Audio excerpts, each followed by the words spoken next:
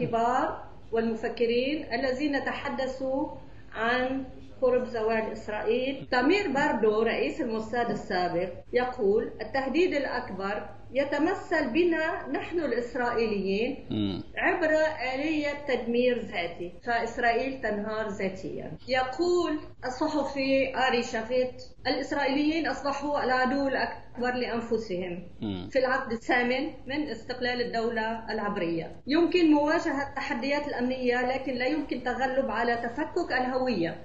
الإسرائيليون يدركون منذ أن جاءوا إلى فلسطين أنهم ضحايا كذبة اخترعتها الحركة الصهيونية استخدمت خلالها استخدمت كل المكر في الشخصية اليهودية. عندما ضخمت المحرقة واستغلتها لإقناع العالم أن فلسطين أرض بلا شعب وأن الهيكل المزعوم تحت الأقصى.